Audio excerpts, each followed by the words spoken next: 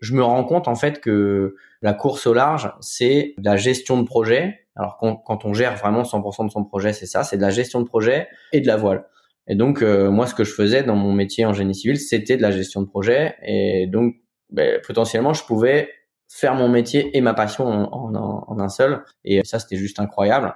Donc, je prends énormément de plaisir à déjà à préparer cette route du Rhum avant même d'aller euh, d'aller sur l'eau.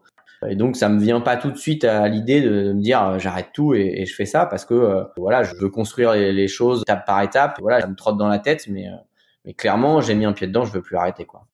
Bienvenue sur Pourquoi pas moi. Je suis Charlotte Desrosiers-Natral, la fondatrice de Pourquoi pas moi l'auteur de Et si je changeais de métier et la créatrice d'un bilan de compétences Nouvelle Génération. Trouvez ma mission de vie et écoutez ma petite voix. Finançable à 100% avec votre CPF. Grâce à des témoignages sans coupe, découvrez les véritables coulisses de ceux qui ont écouté leur petite voix. Pourquoi pas moi Le podcast qui t'invite à écouter ta petite voix? Aujourd'hui, j'ai le plaisir de vous présenter un nouvel homme exceptionnel. Maxime a débuté sa carrière dans le génie civil.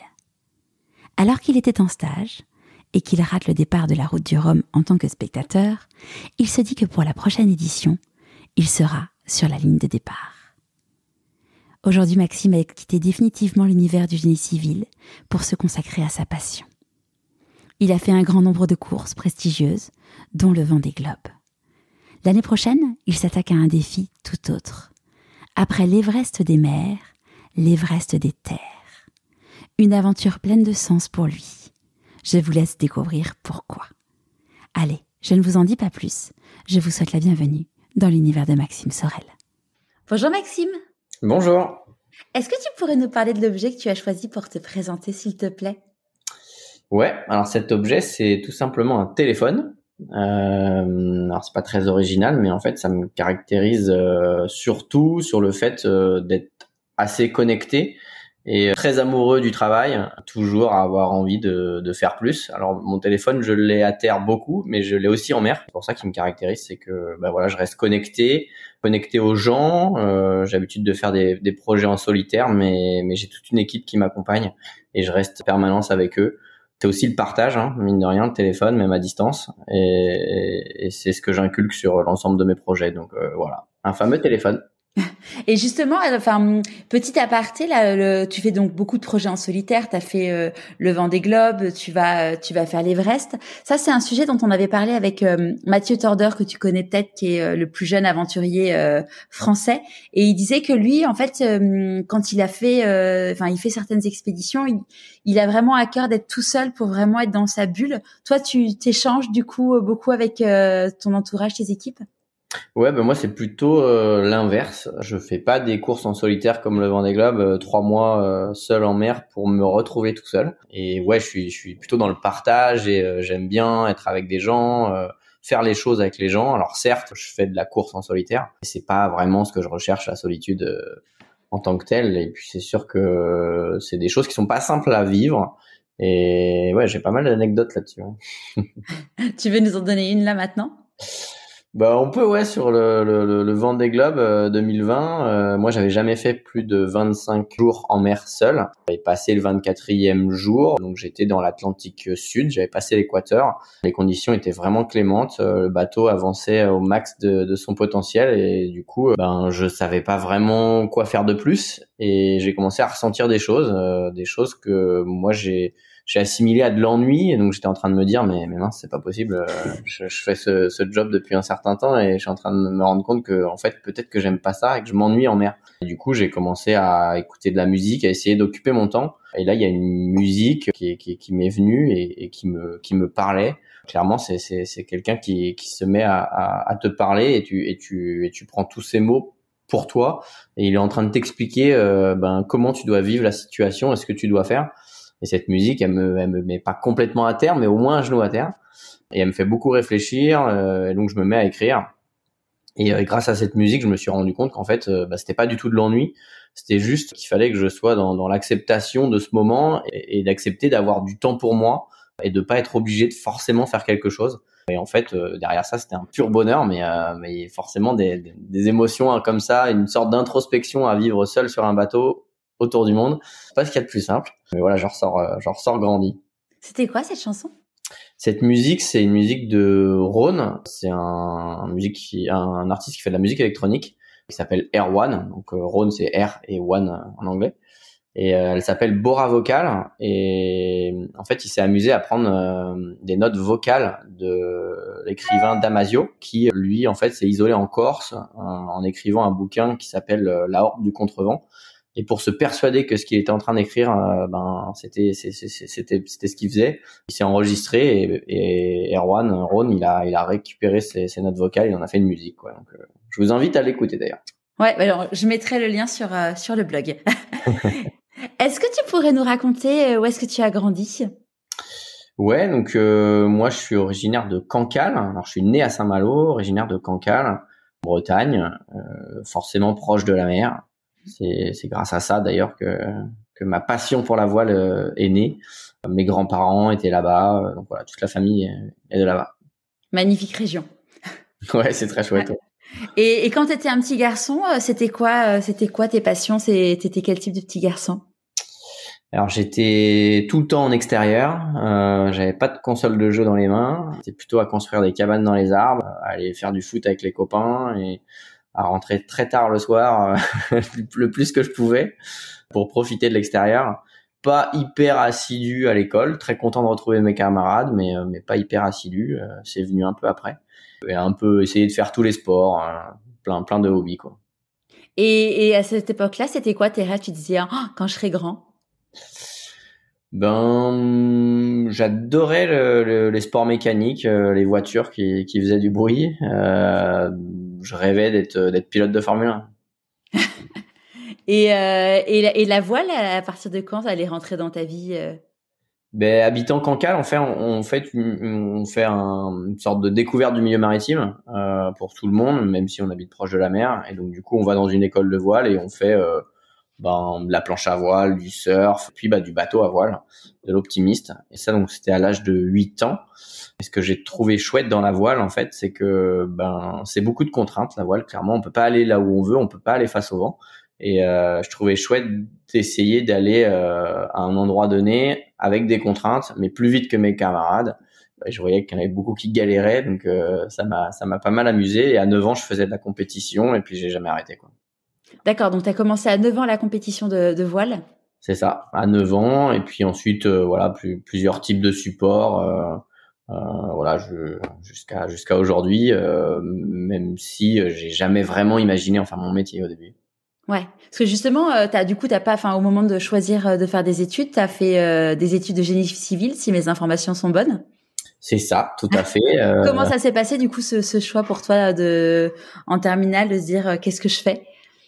Eh ben, on va dire que jusqu'à mon IUT, donc euh, avant mon bac, j'étais pas hyper motivé par l'école. Je préférais aller surfer, faire du skate, euh, faire du bateau. Et je travaillais très souvent euh, dans les travaux publics l'été, dans diverses entreprises, à la fois pour pour gagner un peu d'argent et pouvoir m'acheter des planches de surf et des planches de skate. Mais du coup, j'ai rencontré pas mal de gens et j'ai surtout rencontré des gens qui qui drivaient les équipes. Et je trouvais ça assez chouette, en fait, le métier de la construction, de de passer du temps sur un ouvrage et de le voir euh, le voir évoluer et puis voilà d'avoir un ouvrage qui dure. Et je me suis renseigné sur les études, qu'il fallait faire et donc euh, avec un IUT génie civil il y avait euh, que deux années et derrière on pouvait travailler. Donc je me suis lancé là-dedans. Alors ça n'a pas été simple pour rentrer en IUT parce que mon, dossier était pas top. Et voilà j'ai réussi à, à, rentrer à l'IUT de Saint-Nazaire. Donc j'ai fait deux années. Là forcément la première année a été un peu dure parce qu'il fallait se mettre à travailler donc je me suis quand même mis un, gros coup de pied aux fesses pour euh, ben, pour euh, pour réussir à au moins passer la première année. Et derrière ça, ben, je me suis euh, voilà pris de passion aussi pour le métier et il y avait la partie théorique mais aussi beaucoup de pratique. Et donc je m'en sortais plutôt bien et j'ai décidé de continuer d'aller faire une école d'ingénieur. Alors j'ai continué à naviguer sur cette période, mais, mais c'est sûr qu'à un moment donné, j'ai dû mettre un peu entre parenthèses. L'école était quasiment en alternance, donc on avait beaucoup de stages. Euh, je partais à l'étranger aussi, donc euh, c'est sûr que la voile était un peu entre parenthèses, même si je commençais tout doucement à rentrer dans la course au large, dans des teams un peu semi-professionnels.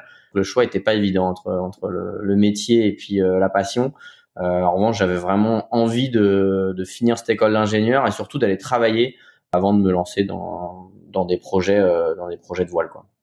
Parce que du coup, quand tu fais ça, tu te dis qu'un jour tu y retourneras à la voile, enfin que tu y retourneras, que tu tireras vraiment à temps plein, ou ou c'est pas aussi conscient conscient?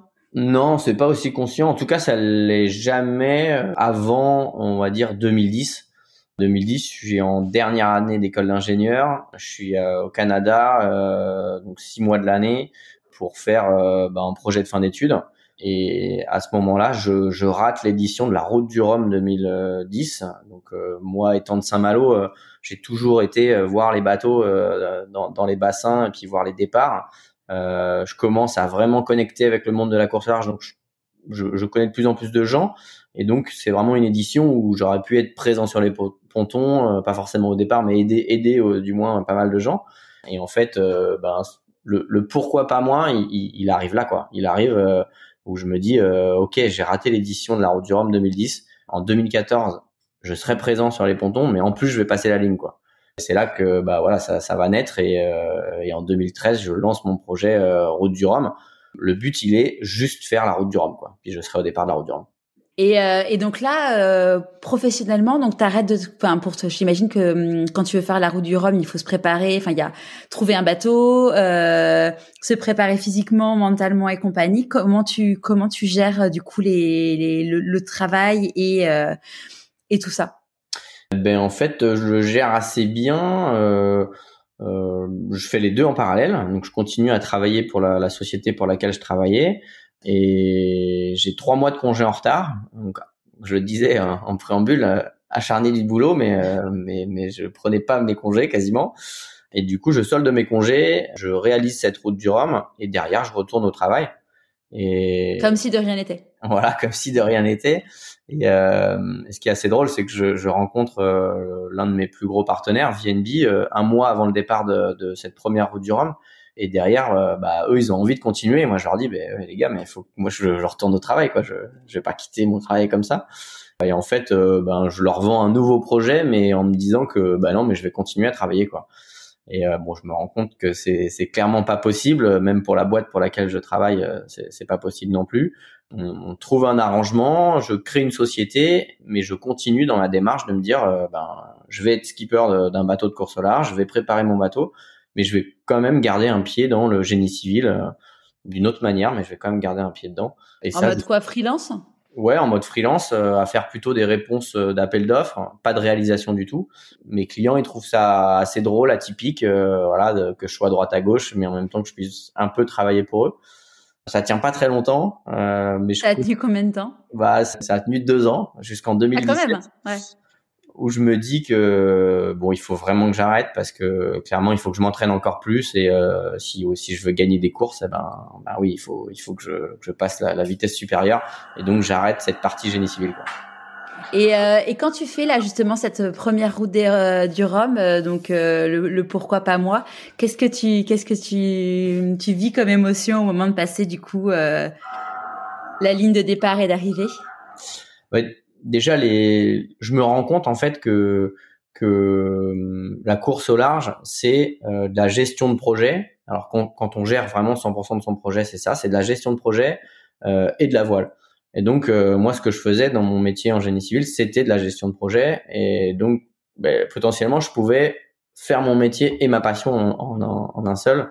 Et, euh, et ça, c'était juste incroyable. Et donc je prends énormément de plaisir à déjà à préparer cette route du Rhum avant même d'aller euh, d'aller sur l'eau. Euh, et ensuite une fois sur l'eau, ben j'ai ressenti des choses euh, que plus jamais je vais ressentir. Je m'en rends compte maintenant, même après un tour du monde, euh, j'ai jamais retrouvé ces sensations parce que ben c'était des sensations de, de, de, première fois quoi, sensations de, de première traversée en solitaire, première première grande course. Et, euh, et ouais, c'est juste incroyable. Et je me dis, mais en fait, c'est ça que j'ai envie de faire, quoi. Et, euh, et, donc, ça me vient pas tout de suite à l'idée de, me dire, euh, j'arrête tout et, et, je fais ça parce que, euh, euh ben parce que, euh, voilà, je, je, je, veux construire les, les choses étape par étape et, voilà, j'ai, ça me trotte dans la tête, mais, mais clairement, j'ai mis un pied dedans, je veux plus arrêter, quoi. Ouais, t'as goûté, t'as goûté au, au bonheur ouais, une sorte de, de, de, de, sensation de liberté, de, de faire les choses seul en mer. C'est assez incroyable. surtout quand c'est une première. Alors ça a été énormément de moments de galère, hein, des, des, plongées sous le bateau en plein milieu de l'Atlantique avec 5 km 5 km de fond, euh, euh, des montées au mât euh, où je prends des coups et deux ans après je subis une opération liée à cette montée au mât. Enfin voilà des, des, des tas de choses qui, qui, resteront marquées sur moi, ancrées en tout cas. Et, et mais, mais, mais tellement de moments de magie. on dit souvent en course large que les meilleurs moments c'est le départ et l'arrivée. Je confirme après un tour du monde, c'est le départ et l'arrivée. Au milieu, c'est excuse-moi du terme, mais c'est beaucoup d'emmerde. Euh, mais, mais, mais la joie, c'est d'être capable de gérer toutes ces emmerdes au quotidien, même si c'est ce qui est de plus dur à vivre. Quoi. Et, les, euh, et du coup, là, ouais, la, la, montée au mât, parce que ah, le mât d'un bateau, ça fait, ça fait quelle, euh, quelle hauteur? Alors le mât du, du bateau que j'avais à la route du Rhum, qui est un classe 40, c'est un bateau qui fait 12 mètres, il est à, on culmine à 19 mètres là-haut, euh, donc c'est beaucoup moins haut que le mât du bateau sur lequel j'ai fait le tour du monde où on est à 30 mètres. Euh, mais il faut imaginer que bah, en bas le, bras de levier il, il, est pas important et en haut ben c'est énorme donc euh, le mât peut balancer de, de 4 à 5 mètres d'amplitude et euh, donc forcément on est projeté à chaque mouvement de vague quoi. Ouais, et puis en plus, en général, quand tu quand quand il y a un truc qui va pas là-haut, c'est que c'est pas qu'il fait beau et, non, voilà, c'est pas ça l'idée, quoi. C'est ça, il faut intervenir euh, ben, urgemment euh, pour éviter de casser des choses ou, avoir d'autres problèmes en cascade. Quoi.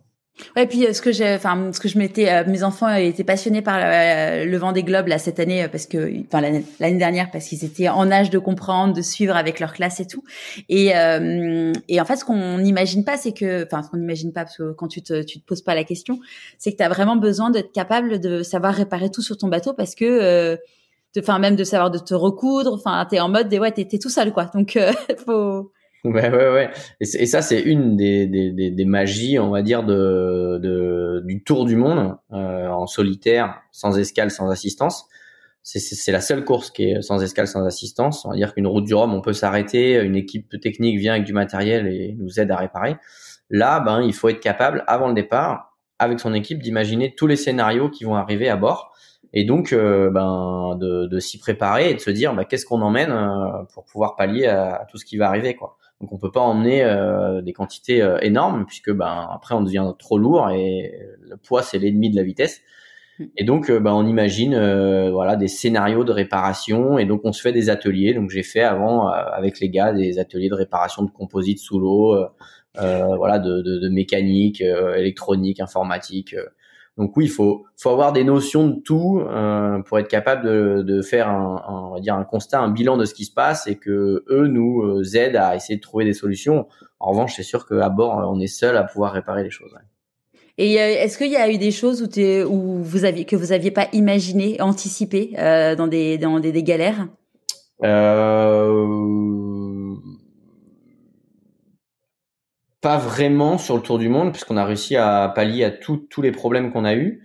Euh, c'est plutôt moi qui avait, par exemple, sur des réparations de voiles, euh, des voiles qui se sont déchirées, on avait le matériel pour réparer les voiles, euh, on avait le matériel pour réparer euh, le problème que j'ai eu.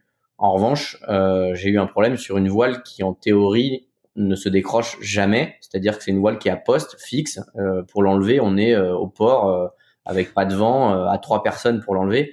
Et là, j'ai dû euh, aller enlever cette voile euh, ben, en, en seul euh, dans les mers du sud, donc dans des mers assez formées. Et, et c'était ouais, c'était quasiment la, la, chose la plus dure que j'ai dû faire pendant ce tour du monde. Euh, parce que c'est pour moi c'était inconcevable de faire un truc en solo que normalement on faisait à trois au port calme et, et du coup c'est plutôt moi qui n'étais pas prêt forcément à faire tout ce qui m'est arrivé et c'est sûr que voilà, c'est une, opération qui a duré 21 heures euh, pour pouvoir euh, bah, réparer cette voile et la renvoyer euh, euh, de façon à finir la course parce que c'était une voile qui était indispensable. D'accord. Et là, pendant, alors j'ai plus le, le nom des, des, des, des, marins où il y a eu, il y a eu un gros problème. Il y en a un qui est tombé à, qui est tombé à l'eau et on a cru qu'il allait, on n'allait pas le retrouver. Vous comment, enfin, vous êtes informé du coup pendant la route, pendant la course, que qu'il se passe ça? Ouais, ouais, ouais, on est en permanence euh, connecté, alors avec la direction de course, mais aussi avec nos camarades euh, autour, Euh, maintenant, on a quasiment euh, WhatsApp en fait euh, en live à bord. alors, on n'a pas Internet totalement parce que ça coûte vraiment une fortune, mais mais WhatsApp c'est que du message texte, donc on peut l'avoir. Et oui, on, on échange avec les bateaux, donc on a les infos assez rapidement. C'est sûr que surtout dans, dans, dans, les conditions dans lesquelles on était et, et aussi géographiquement, c'est des zones qui sont pas du tout peuplées. Donc il y a vraiment pas de trafic maritime à cet endroit-là et et là, ça commence à être inquiétant pour nous. Mais oui, on a toutes ces infos-là et, euh, et c'est sûr que parfois la course se met entre parenthèses dans, dans ce genre de situation parce que ben voilà, on sait que là il y a un camarade qui est quand même euh, vraiment pas bien et ben on peut pas faire grand-chose, mais euh, mais on est inquiet et on attend de savoir euh, ce qui se passe. Ouais, du coup, vous, vous vivez l'inquiétude comme, euh, comme nous derrière euh, nos, nos postes de télé, euh, mais sauf que vous, vous êtes en mer, quoi. ouais, ouais c'est ça. Et on a, et on a les, surtout les, les conditions de mer et, puis de luminosité euh, jour-nuit en live, quoi. On sait, on sait exactement où il en est et, et, ce qui va lui arriver dans les heures qui, qui viennent, si voilà, si la nuit tombe, si le jour se lève. Et, et c'est sûr qu'on on vit vraiment l'action jusqu'à temps que ça s'arrête, quoi. Et quand euh, quand enfin quand tu vis ça, euh, est-ce que tu te dis mais qu'est-ce que j'ai fait? Pourquoi je me suis foutu dans cette dans ce dans cette merde? Et... Ouais, après je suis je suis d'une nature à mais c'est pareil à terre à assez vite passer à autre chose. Euh, C'est-à-dire que j'ai conscience du danger, euh, mais mais c'est pas ça qui va m'arrêter. Pour un exemple, par exemple, on, on prend la voiture. Euh, euh, on regarde son téléphone, chose qu'il faut pas faire bien sûr, hein, mais euh, bon voilà, on regarde son téléphone. Du coup, on quitte les, les, les yeux de la route et euh, puis bah on se retrouve face à une voiture et on est obligé de mettre un coup de volant. Il y a des tas de gens qui qui, qui s'effraient de ça et qui se disent bah non mais là c'est fini quoi, faut que j'arrête, euh, je veux plus prendre le volant. Enfin voilà, c'est c'est c'est très prenant. Et ils l'ont ancré en eux après et du coup ils revoient cette image en permanence ben moi sur des situations comme ça voilà je passe vite à autre chose et bon voilà c'est arrivé mais euh, bon euh, je suis passé à travers et et, euh, et, et c'est pareil en mer c'est-à-dire qu'on a conscience du danger on est plus dans la gestion du risque euh, et ensuite on se rend compte de ce qui s'est passé. Donc euh, voilà on a on a des émotions par rapport à ça. On se dit waouh c'était c'était juste un truc de dingue mais ça nous empêche pas de continuer à avancer. Après on reste vigilant mais mais forcément le cerveau réagit différemment parce que euh, on peut pas être en permanence à, penser au danger. Quoi. Et ton entourage, comment euh, comment il le vit quand tu pars en, en course comme ça? Ben, c'est pas simple, hein, c'est forcément beaucoup d'émotions. Euh, alors, les émotions, elles ont été un peu crescendo. Hein. J'ai démarré par une route du Rhum, euh, puis ensuite d'autres courses un peu plus longues, jusqu'à un tour du monde. Alors, c'est sûr que le, le, le, matin du départ de, du Vendée Globe, voilà, c'est ça fait froid dans le dos. Euh, même pour moi, hein, euh, quand on se lève le matin, qu'on prend sa douche, qu'on se regarde dans le miroir et qu'on se dit bah ouais mec aujourd'hui là tu, tu pars faire le tour du monde, euh, ouais c'est ça fout les watts. Et euh, c'est quand même la course où il y a eu le, le plus de gens à parvenir. ah ouais, ouais. Et euh, forcément, parce que bah, de par la durée de la course et, et les mers qu'on traverse, euh, donc voilà, on, sait qu'on part, on sait pas quand est-ce qu'on va revenir, donc euh, forcément pour les proches c'est dur à vivre. Euh, ils sont un peu impuissants derrière leur ordinateur ou leur téléphone. Euh, des fois, ils sentent que à bord ça va pas forcément bien et qu'il y a des moments durs, mais mais voilà, ils, ils le subissent et ils peuvent ils peuvent rien faire. Donc, euh, je préfère être à ma place. Ouais. et, euh, et du coup, euh, à partir de quand tu as gagné euh, Donc là, la route du Rhum, c'était en mode je veux le faire, mais c'était pas du tout dans un optique de le gagner parce que de toute façon, euh, tu travaillais en parallèle. À partir de quand, du coup, tu t'es dit en fait, je, je, je veux faire une course, mais en même temps, je veux la gagner? Ouais, bah en fait, la route du Rhum 2014, je suis en, donc, je suis en classe 40, donc des bateaux de 12 mètres, c'est la plus petite catégorie de, de course au large pro. Et hum, moi, j'avais un vieux bateau et dans ce classement des classes 40, il y avait un classement vintage, donc des anciens classes 40. Et en fait, je gagne la route du Rhum. ah, génial! Ah, je savais pas, d'accord, trop bien. ça, ça, me motive d'autant plus pour, euh, pour, pour, continuer, essayer d'avoir un, un, bateau plus récent et, et, euh, et, faire encore mieux. Et du coup, on décide de construire un bateau euh, pour les quatre prochaines saisons. Et donc, l'objectif était de refaire la route du Rhum en 2018. Et avant ça, ben, je fais euh, toutes les courses qu'on pouvait faire, hein, comme euh, la Transat Jacques euh, la Transat anglaise, Québec-Saint-Malo, voilà, tout un tas de courses. Et sur ces quatre années, on fait 12 courses, 6 podiums et 3 victoires. Génial. Donc, c'est vraiment en 2017 où je me dis euh, ben là euh, voilà faut la, la, concurrence monte euh, il faut que je passe plus de temps à préparer mon bateau à naviguer et, euh, et c'est là où je me dis que qu'il faut que j'arrête pour, pour, pouvoir gagner et surtout qu'en 2015 hein, quand on construit ce, ce, ce, projet on construit un nouveau bateau on, on le met à l'eau super tard on fait la, la Jacques Vabre 2015 donc là je suis je suis encore dans le génie civil j'ai créé ma boîte au tout début et, euh, et du coup, on, on, imagine simplement finir la, la Transat Jacques Vabre parce que le bateau était tout neuf, euh, on, a, on, le connaissait pas encore. Et en fait, on fait deuxième de la Transat Jacques Vabre. Et euh, donc, ce qui est super bien, sauf qu'en fait, euh, dans la tête de mon partenaire, la Jacques Vabre, c'est tous les deux ans. Bah, en 2017, euh, il y a qu'une marche à franchir, on va gagner quoi.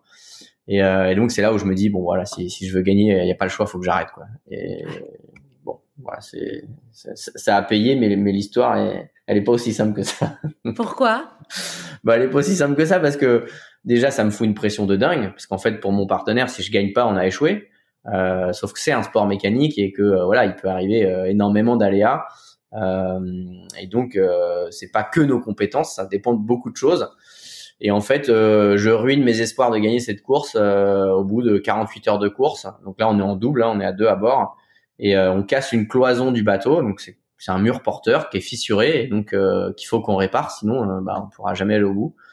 Et on décide de réparer cette cloison et, puis bah du coup on, s'arrête en mer, on répare et du coup bah on repart dernier quasiment quoi. Et, euh, et le temps que la réparation euh, sèche, que, que, que, tout soit consolidé, ben les, les petits copains ils s'en vont quoi. Et donc on se dit bah c'est terminé quoi en fait.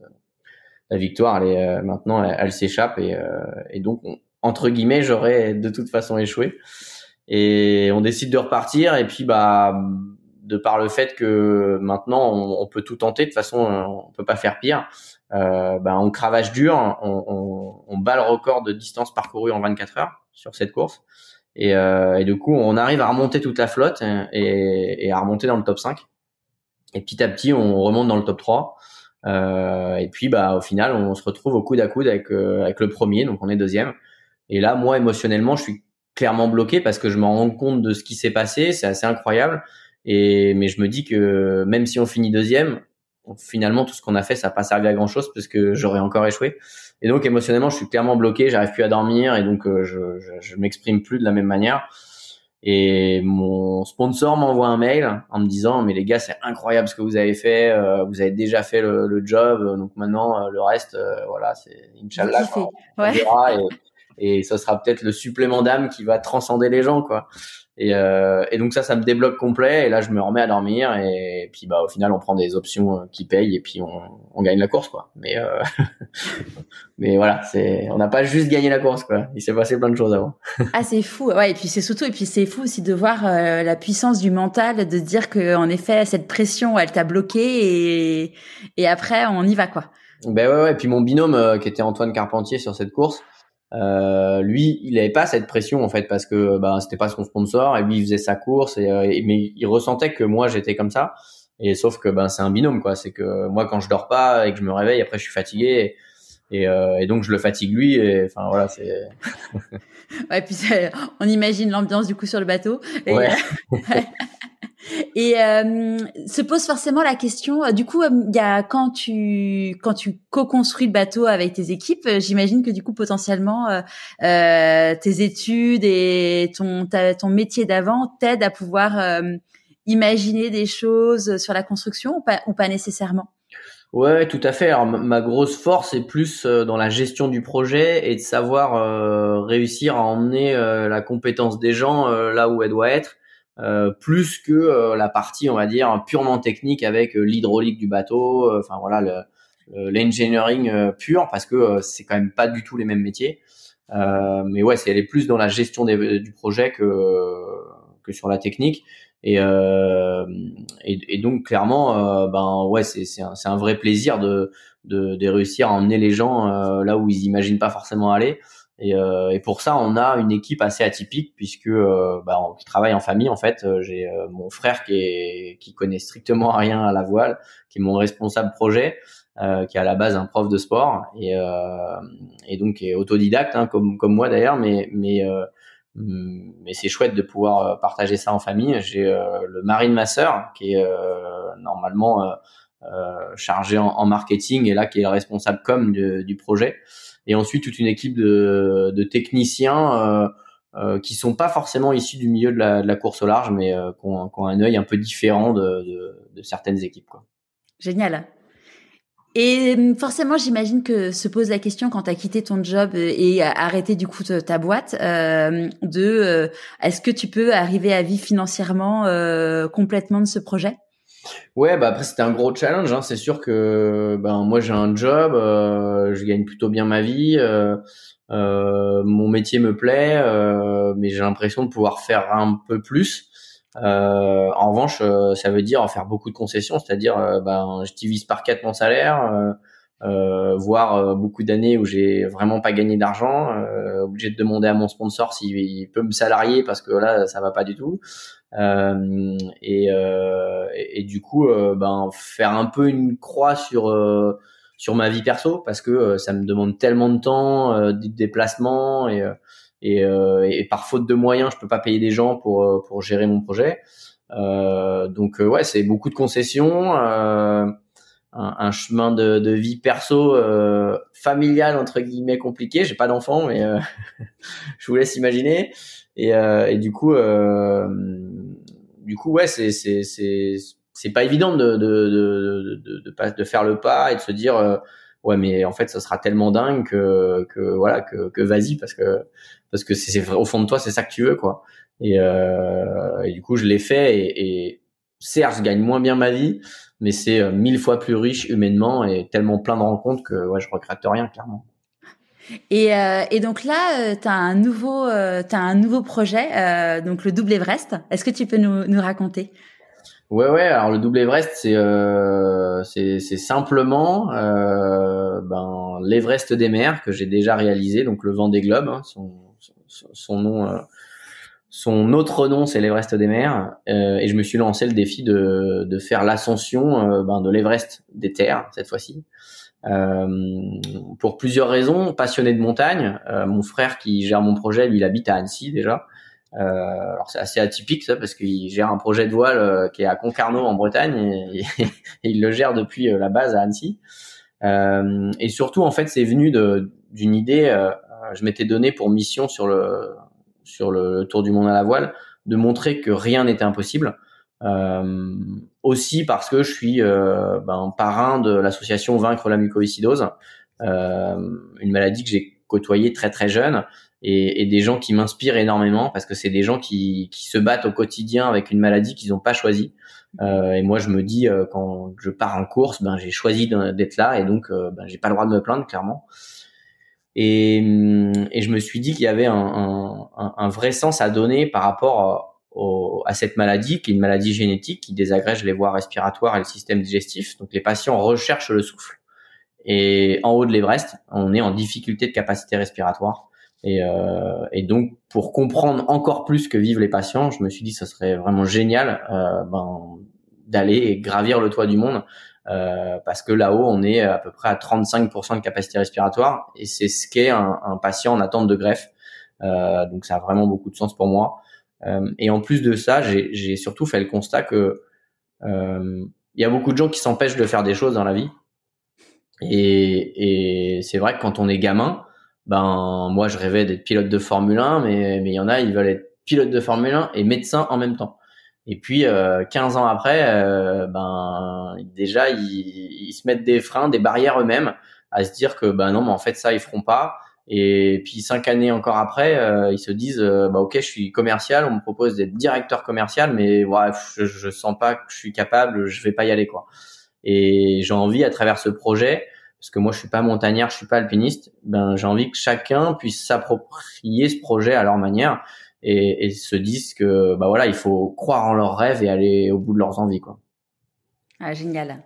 Je, je, je, ne peux que partager. Et euh, la mucoviscidose, du coup, il y a des personnes dans ton entourage proche qui, euh, qui sont atteintes de cette maladie? Ouais, un voisin, Alex, euh, quand on était gamin, euh, qui, qui, ben, qui a été greffé cœur-poumon, en fait, puisqu'aujourd'hui, la, la, le seul moyen, on va dire, de, de d'avancer pour un patient, c'est bah, de changer un organe. Usé pour en prendre un meilleur. Il y a des traitements qui sont arrivés là qui, qui, qui aident vraiment à améliorer le quotidien des patients, mais aujourd'hui on sait toujours pas soigner cette maladie. Et donc ce voisin, ben nous a fait connaître euh, la mycoïcidose et avec les parents, on a œuvré pour l'association.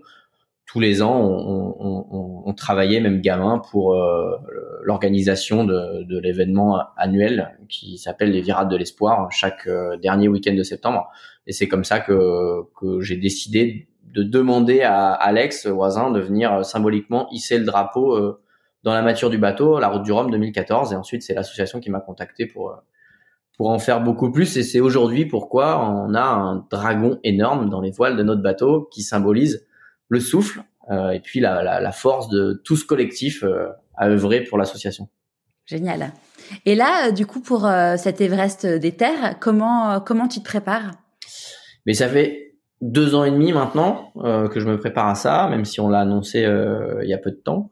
Euh, j'ai euh, du coup pour ça un, un, coach euh, qui va venir faire l'ascension avec moi, qui s'appelle Guillaume Vallot, qui lui est un alpiniste reporter. Et donc ben voilà, on, on, fait tout un tas de choses en montagne avec diverses difficultés, voire parfois plus dur que ce qu'on est censé faire sur l'ascension de l'Everest, euh, avec euh, de la cascade de glace, euh, marcher sur sur des crêtes, du ski de randonnée, beaucoup de cardio. voilà, j'ai tout un programme d'entraînement. L'ascension, on va la faire en avril-mai 2023. Donc ce sera vraiment un mi-chemin en mi-chemin entre le, le Vendée Globe 2020 et puis le, le futur Vendée Globe en 2024 qu'on fera avec le, nouveau bateau qu'on est en train de construire. C'est du coup l'idée ouais, c'est d'y retourner? Ouais, c'est d'y retourner. On a, j'avais même pas passé la ligne du Vendée Globe 2020 que je voulais déjà y retourner. Euh, et on va y retourner différemment. On avait un ancien euh, IMOCA et là on est en train de construire un, un nouveau bateau qu'on va mettre à l'eau euh, fin juin, le 27 juin euh, de, de, cette année. Euh, et on aura bah, trois saisons pour se préparer à cet objectif de, de Vendée Globe 2024 avec l'idée de faire un, de faire un top 5. Avec ou sans foil alors? Avec foil, ouais, un bateau de vraiment de dernière génération. oui, oui, avec avec des foils. On va, le dragon va voler cette fois-ci. Trop bien. Et, euh, et là, est-ce que tu as des, as des inquiétudes? Et il y a des choses qui te, qui te travaillent là, à l'idée de, de, de, de, l'Everest euh, des terres là, qui arrive dans un an? Bah oui, clairement. Alors c'est quand même assez engagé, euh, surtout avec le programme de course qu'on a. Donc là, on va avoir la Route du Rhum 2022. Euh, c'est là que je me dis que en, en, trois éditions de la Route du Rhum, mon évolution, elle a été assez fulgurante. et, et, ensuite, il y a la Jacques Vabre euh, l'année prochaine, euh, puis euh, puis une grosse saison en 2024 avec deux transatlantiques avant le Tour du Monde. Et, et je me suis dit que c'était pas encore assez, et donc du coup, j'allais mettre l'ascension de l'Everest en 2023 entremêlé à tout ça. Et donc c'est sûr que il y a d'abord la gestion du projet et la gestion des équipes pour tout mettre en place pour pouvoir avoir le temps de faire ça. Et, euh, et ça, c'est ce que je suis en train de faire en ce moment. Euh, et, et c'est sûr que c'est pas simple, euh, mais voilà, ça veut dire ben, avoir une équipe plus importante, faire confiance à tout le monde et être capable de, de, de, de sortir un peu du projet euh, pour me concentrer sur, sur la partie Everest. Euh, et ensuite, il y aura la difficulté de, de l'ascension. Euh, on se laisse 60 jours. Alors c'est une tentative d'ascension, clairement. Comme on a tenté le vent des globes, on n'était pas sûr d'arriver au bout. On met tout en œuvre pour y arriver. En, revanche, bah, on n'est pas, on n'est pas tout seul à décider si, si on ira au bout ou pas. Et euh, ça dépendra vraiment des conditions météo et de mes capacités. Donc euh, oui, c'est, c'est forcément des moments de doute, mais bon, j'ai quand même, j'ai quand même une grosse, grosse envie de, de prendre le départ de, de cette ascension. je sais pas si tu as vu ce film. Alors j'ai plus le nom. C'est un film qui est sur Netflix. C'est une histoire vraie. C'est un. C'est alors euh, je crois qu'il est sénégalais ou je sais plus quoi. En gros, c'est un, un ah, homme oui, qui, tu vois, qui, qui habite dans une cité et qui, euh, qui en gros euh, qui, qui, drague une nana dont il est amoureux et elle lui dit de toute façon t'es capable de rien. Il dit mais attends c'est quoi pour toi? Je serais capable de gravir l'Everest. Elle dit mais tu sais même pas où c'est. Il dit non c'est pas vrai. Bon il savait pas du tout où c'était. Ouais. et, et, il a gravi l'Everest. Ce truc incroyable. Ouais, c'est incroyable, mais oui, c'est c'est une histoire euh, vraie, ouais, c'est ça. Hein, et euh, qui a été scénarisé, mais oui, oui, j'ai regardé par rapport à la vraie vie. Bon, ils sont, ils ont pas mis le bon pays d'origine, mais bon, il y a deux trois trucs, mais. Ouais, ouais. Mais mais oui, c'est sûr que c'est d'abord avoir envie euh, plus que euh, se dire euh, j'y arriverai pas parce que parce que c'est pas possible l'Everest c'est la plus grosse montagne quoi. Et c'est pas la plus dure des montagnes il y a des montagnes plus dures. En revanche aujourd'hui l'Everest c'est c'est un peu rentré dans quand on dit à chacun son Everest voilà ça veut bien dire ce que ça veut dire. Là le projet il s'appelle mon double Everest pour l'Everest des mers et l'Everest des terres. Et du coup, et quand t'as comment, enfin quand t'as fait le Vendée Globe, t'avais déjà en tête le fait de faire l'Everest, euh, enfin le double Everest, ou c'est arrivé après? Alors en fait, c'est arrivé en 2017, euh, après la victoire de la Transat euh, Jacques Vabre, euh, avec mon partenaire. Donc il nous restait une année avec le, bateau qu'on avait construit, faire la route du Rhum 2018. Et derrière, euh, bah, il y avait plus grand chose quoi. Et, je me suis dit, ben la seule course qu'on n'a pas fait c'est le Tour du Monde, euh, le Vendée Globe, l'Everest des mers. Euh, et le partenaire, je, je savais qu'il rêvait un jour d'avoir son, son nom sur, sur un bateau de, qui fait le Tour du Monde. Et, euh, et je lui propose de, ben voilà, on y va quoi. Et, euh, et, et, et, en plus de ça, je lui dis, euh, il y a un truc qui aurait vraiment du sens par rapport à la Muco. Mais bon, c'est complètement délire. C'est euh, c'est de faire un double Everest quoi. Il me dit comment ça un double Everest? Je dis, bah l'Everest des mers, le Vendée Globe et l'Everest des terres. Et là, il me regarde et il me dit euh, ah ouais, ah ouais, c'est vraiment un truc de dingue ça. Et, et voilà, ça, et ça a mûri comme ça en 2017. Et, euh, et à la base, je, j'avais construit le projet pour que, à l'arrivée du Vendée Globe 2020, à la conférence de presse d'arrivée, j'annonce que pour nous, on venait de faire que 50% de, du job et que là, je partais de ce pas euh, faire la. Dans, dans, la foulée, dans la foulée évidemment. dans la foulée. Et merci le Covid. je suis peut-être un des seuls à dire merci le Covid. C'est que bah du coup on n'a pas pu parce qu'en fait euh, c'était pas possible de, de, voyager à cette époque-là. Et euh, euh, mais je pense que ça aurait été vraiment compliqué physiquement parce que on a une perte. Parce que t'avais vraiment l'ambition de partir dans la foulée, genre prendre un avion. Euh... Ah ouais. Alors pas dans la foulée parce que je suis arrivé fin janvier et que l'ascension de l'Everest on peut le faire que en avril-mai. Ok. Mais mais oui oui c'était ouais, deux mois, après, ouais. deux mois après, on commençait à partir et ensuite on marchait quoi. Et, euh, et on a une perte de masse musculaire des jambes qui est tellement importante sur le sur le Vendée que voilà, c'était vraiment pas possible. Comment t'écoutes ton intuition? Ben là-dessus, j'ai vachement grandi, mûri. j'ai le souvenir de, de, quand je travaillais dans, dans le génie civil, euh, mes premières années où euh, où j'écoutais pas forcément mes, mes, intuitions, je voulais régler les problèmes tout de suite. C'est-à-dire qu'il y avait un problème, je prenais mon téléphone, j'appelais euh, partout, tout le monde, pour essayer de gérer le problème. Et euh, d'année en année, je me suis dit, euh, attends, on, va laisser un peu le problème de côté, on va voir comment ça se passe. Et puis finalement, je me rendais compte que le problème se réglait tout seul, sans que je fasse rien. Et, euh, et, et, et j'évolue encore là-dessus. Et, et c'est sûr que j'ai vraiment besoin de ressentir les choses euh, pour pouvoir euh, y aller les yeux fermés. Et du coup, quand j'ai vraiment quelque chose en moi qui me dit c'est bon, tu peux y aller quoi. Et, et, et, donc je suis très à l'écoute de mes sensations et puis aussi physiquement de mon corps pour aller faire des choses à bord du bateau. c'est pas forcément que dans le ressenti, mais mais on, on sent que le corps, bah, il a pas envie ou il est pas capable. Euh, sur le moment. Et donc euh, bah voilà il faut trouver une alternative euh, pour aller faire ce qu'on doit faire quoi. donc je suis oui, je suis assez sensible à ça et comment tu célèbres tes réussites? Je suis pas le meilleur exemple. Je suis quand même un éternel insatisfait et je me dis toujours que ben on peut faire plus.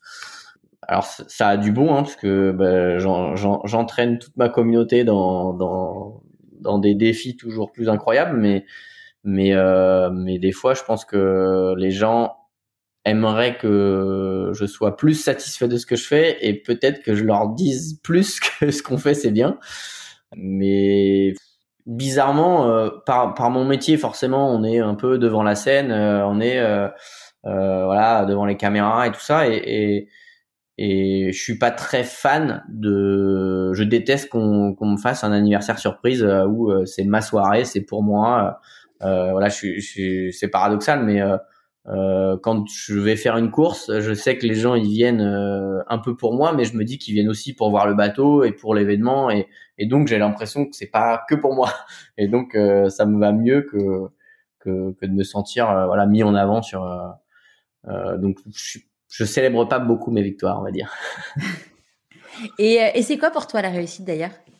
La réussite, c'est d'abord euh, voir les gens euh, qui m'entourent pour faire ce que je fais, être satisfait de leur travail. Et, et ça, c'est un truc qui est incroyable dans ce que je fais, c'est que euh, la plupart des gars, enfin tous les gars avec qui je travaille, euh, ils sont euh, hyper soucieux de leur travail, très impliqués. Et, euh, et dès qu'il y a un truc qui va pas à bord, ils s'inquiètent, ils se disent mais qu'est-ce qui s'est passé, qu'est-ce qu'on a mal fait? Et il y a vraiment une grosse implication. Et, et, hum, c'est une des, des, des forces euh, de mon équipe qui me permet ben, de moi de me dépasser et, euh, et donc du coup de, de, de, donner encore plus parce que je, je sais que je le fais pour des, des gens qui sont soucieux et passionnés. Et, et ouais c'est ça la réussite c'est que moi je sois content de mon travail mais mais que eux soient contents du, du leur et qu'on soit voilà qu'on soit tous satisfaits de ce qu'on a de ce qu'on a accompli ensemble et réussir tout seul, ça m'intéresse pas. Qu'est-ce que tu penses que le petit Maxime de 6 ans dirait s'il te voyait aujourd'hui? Bah, que je suis pas pilote de Formule 1 des terres, mais des Formule 1 des mers. Donc j'ai pas complètement euh, complètement échoué. Non, c'est dur à dire, mais euh, je pense que j'ai pas beaucoup changé. Euh, je me raconte toujours autant d'histoires. Euh, je jouais beaucoup euh, avec mes petites voitures, mes petits bonhommes dehors à me raconter des histoires et à, faire des montages. Bah, aujourd'hui, c'est un peu ce qu'on fait. On, on, raconte des histoires à travers nos courses sur les océans, même si pour le coup là, je les vis vraiment je sais pas, ça répond pas vraiment à la question, mais. si, si, bah, si, si. Non, et puis ce qui est génial, c'est que tu, hum, c'est que tu fais les, enfin, tu, tu vis, enfin, tu vis ta passion, mais qu'en plus, il y a un sens euh, incroyable dans tout ce que tu fais derrière. Il y a, il y a vraiment ce supplément, euh, ce supplément d'âme en plus qui fait que, euh, c'est, c'est pas juste, ok, j'ai envie de faire une, j'ai envie de faire le double vrai. Il y a, il y a, il y a, il y a un sens derrière qui est, qui est, qui est fou. Ouais, alors c'est sûr que ça me tient à cœur de mettre du sens dans ce que je fais, et puis euh, à la base, je suis, suis pas, j'ai pas fait toutes les classes euh, dans, la voile. Euh, je suis pas un, pur navigant. Euh, c'est plutôt toutes ces aventures que que je réalise qui, qui, ont un sens commun qui est effectivement le, combat d'une maladie qui, me touche et puis aussi bah voilà comme je l'ai dit tout à l'heure que, que chacun s'approprie ça et se dise putain mais pourquoi, pourquoi pas moi? Pourquoi pourquoi pas aller faire, euh, aller tout quitter et, partir à l'autre bout du monde, euh, faire du surf. Alors j'ai jamais fait du surf, mais j'ai toujours rêvé d'en faire et voilà et, puis tenter des choses quoi. Ouais, c'est ça. Et aujourd'hui euh, c'est la voile, demain ben, de l'alpinisme et puis peut-être peut-être de la Formule 1 dans quelques années, j'en sais rien, ou les 24 heures du monde. Voilà. Tu commenceras sur une euh, sur une classique vintage et puis après tu auras la On prend les mêmes, on recommence mais avec euh, un autre véhicule quoi. C'est ça, c'est ça et puis d'autres aventures, j'en sais rien mais euh, c'est aussi euh, c'est aussi ça qui m'anime, c'est que je j'adore la voile, je pense que je continuerai, continuerai toujours à faire de la voile de compétition mais mais il y a plein de choses qui m'attirent et j'ai envie de faire plein de choses autres quoi. Dans la vie, on dit que quand on fait des choix, il y a des renoncements. Du coup, c'est quoi pour toi les renoncements? On en a un petit peu parlé, mais... Euh, ben... Ouais, c'est, c'est parfois euh, mettre un peu de côté euh, certaines idées de vie qu'on a en se disant bah ouais c'est quand même bien de, gagner de l'argent d'avoir une maison parce qu'en fait, c'est au fond de soi, c'est pas forcément ce qu'on a envie. C'est peut-être des, des, schémas qu'on qu'on nous a inculqués quand on est plus jeune. Et mais c'est aussi ces choix-là qui, enfin ces idées-là qui, qui nous enferment dans, dans des trucs où, où on n'est pas à l'aise avec et on a un mal-être et on sait pas pourquoi on l'a. Et il faut pas avoir peur de se dire bah ouais ok j'ai ça comme vie je, je pourrais pas enlever euh, j'ai mes enfants j'ai j'ai une femme j'ai mais euh, mais ça n'empêche pas d'aller d'aller euh, faire ce qu'on a envie de faire. Euh, on peut commencer par aller courir, faire un 5 km, puis un 10, puis un marathon, puis aller faire un ultra trail. Et, enfin voilà, c'est étape par étape et, et, et pas se dire ben ouais mais je serai jamais un ultra trailer professionnel. Peut-être, mais peut-être que tu peux nourrir ces idées-là en faisant des plus petites étapes et, et, devenir heureux avec ça et, tendre vers ce que ce que tu imaginais au début. Et euh, je pense qu'il n'y a jamais rien de perdu et il faut, faut pas avoir peur d'y aller. quoi. C'est quoi la plus grosse difficulté que, que tu as eu à traverser? Oh, Pas simple ça. je pense que c'est dans mon enfance, peut-être le divorce de mes parents. Où, euh, où là j'ai je sais plus quel âge j'ai mais c'est pas très loin de l'âge à laquelle j'ai démarré la voile euh, entre 7 et 8 ans et euh, je savais même pas que ça existe et, et je comprends pas pourquoi en fait. Et, et du coup euh, euh, ouais c'est un peu le déchirement dans la famille et, certaines personnes quand, quand veulent à d'autres. Et, et je comprends pas pourquoi euh, d'une famille heureuse on en sort à des gens qui qui euh, ben, qui qui se supportent plus et qui qui se comprennent pas. Et du coup euh, du coup, ça, ça me, ça me dure très longtemps et euh, je suis avec ma mère. Ensuite, je vis avec euh, mon père et du coup, euh, voilà, c'est, c'est un peu une incompréhension euh, qui dure et qui, qui, je pense, me marque et me marquera toujours.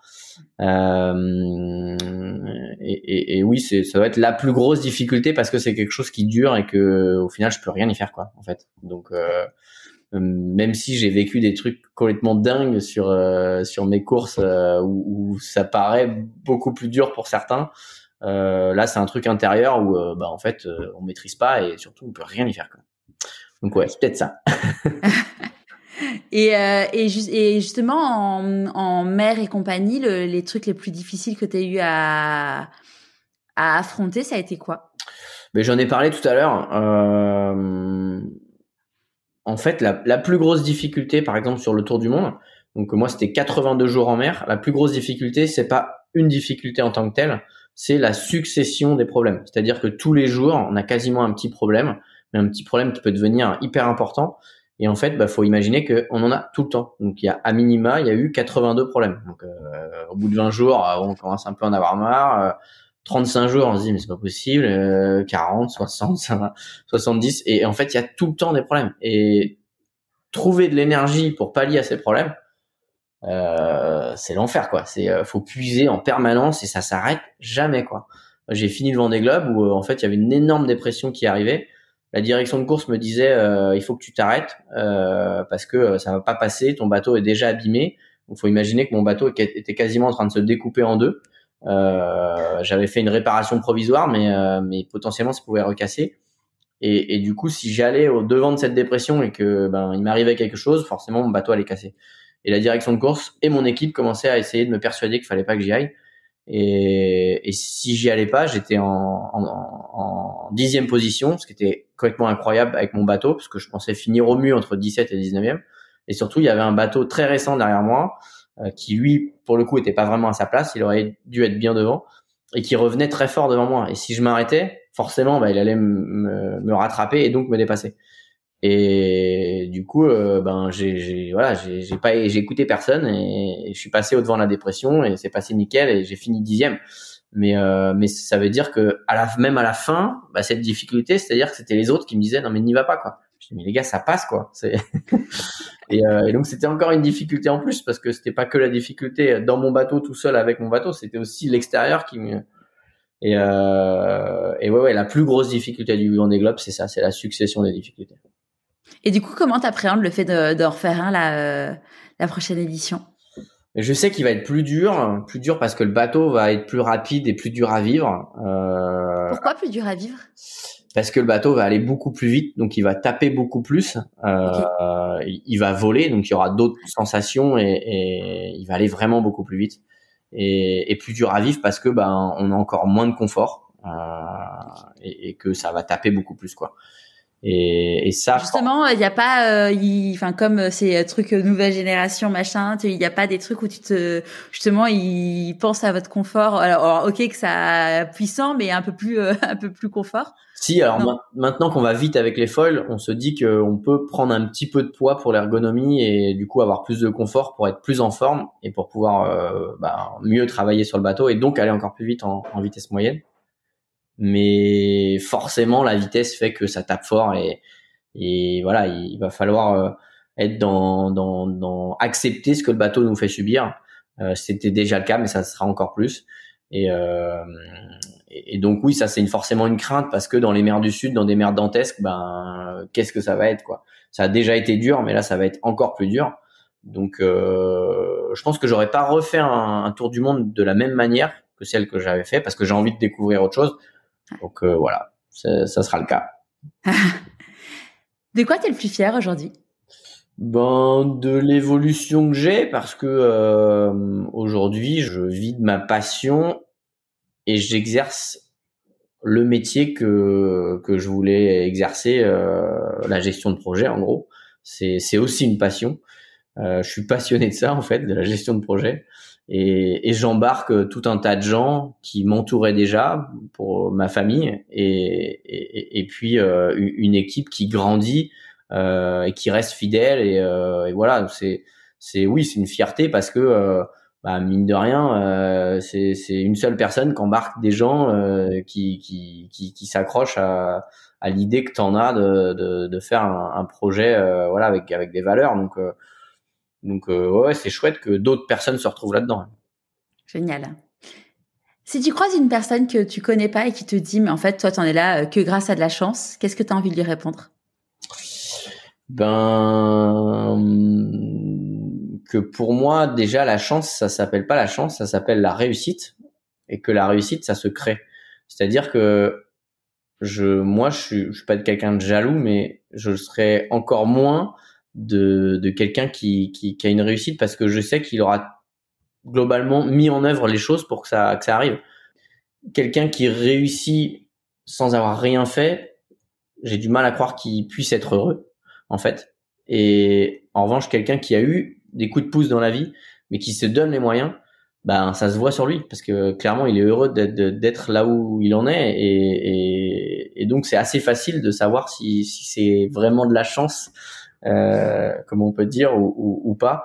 Donc, euh, j'aurais envie de lui dire, ben, crée-toi ta chance. Quoi. Est-ce qu'il y a un, conseil que tu aurais aimé recevoir et que du coup tu voudrais donner aujourd'hui? Aujourd'hui, je dis, euh, c'est ce que j'ai envie de dire aux gens, de, croire en leurs rêves et d'aller au bout de leurs envies. Je suis pas certain qu'on m'ait inculqué ça euh, quand j'étais jeune.